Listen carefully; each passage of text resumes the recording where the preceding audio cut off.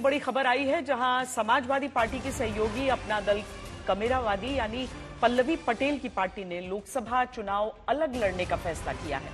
Sirathu seat से deputy CM Keshav Prasad Maurya को विधानसभा चुनाव हराने वाली पल्लवी पटेल की पार्टी ने फूलपुर, कौशाम्बी, मिर्जापुर पर अकेले चुनाव लड़ने का फैसला लिया है। इनका कहना है कि अगर यूपी में गठबंधन में जगह नहीं मिलती तो जल्द तीन सीटों पर अलग लड़ने का ऐलान हो जाएगा।